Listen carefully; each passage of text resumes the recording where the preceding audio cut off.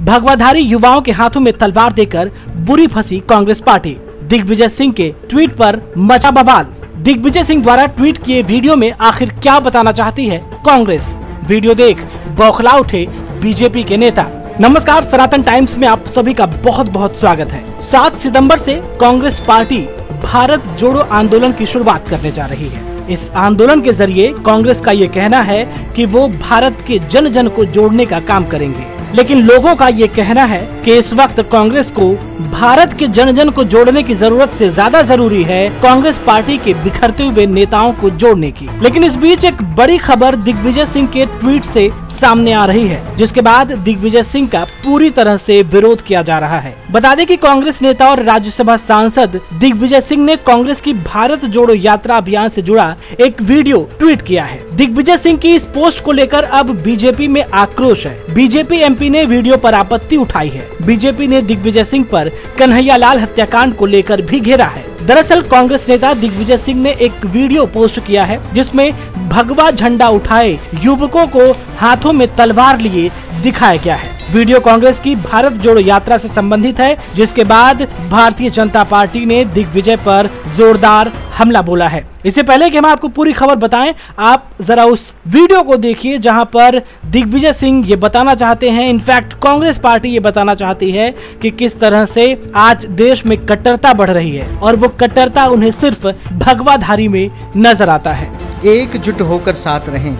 आज देश में कटुता और नफरत का जहरीला वातावरण निर्मित किया गया है, जिसे खत्म करने के लिए कांग्रेस भारत जोड़ो यात्रा की शुरुआत कर रही है बता दें कि इस पूरे वीडियो को लेकर के एमपी बीजेपी के नेताओं ने दिग्विजय सिंह को घेरा है और आरोप लगाया है कि दिग्विजय सिंह हिंदू विरोधी हैं। बीजेपी विधायक रामेश्वर शर्मा ने पूछा है, दिग्विजय सिंह को केसरिया रंग में कट्टरता दिखती है, लेकिन कन्हैया लाल के हत्यारों में उन्हें कट्टरता क्यों नहीं दिखती गौरतलब है कि नुपुर शर्मा का कथित तौर पर समर्थन करने पर राजस्थान के उदयपुर में पिछले दिनों टेलर कन्हैया लाल की दिन दहाड़े हत्या कर दी गई थी। विधायक ने यह भी कहा कि दिग्विजय सिंह कब तक हिंदुओं का विरोध करते रहेंगे। हिंदुस्तान हिंदुओं का ही तो है। इसकी रक्षा हिंदू नहीं करेगा तो कौन करेगा? इसी केसरिया ध्वज के साथ हाथ में तलवार लेकर छत्रपति शिवाजी महाराज निकले थे। तब सौराष्ट्र की स्थापना हुई थी।